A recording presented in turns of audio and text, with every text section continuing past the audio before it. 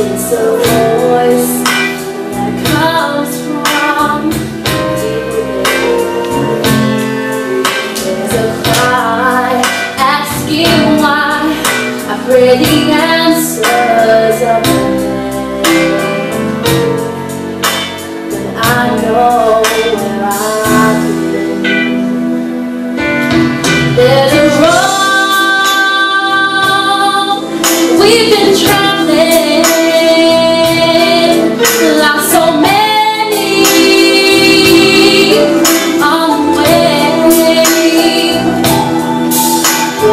strange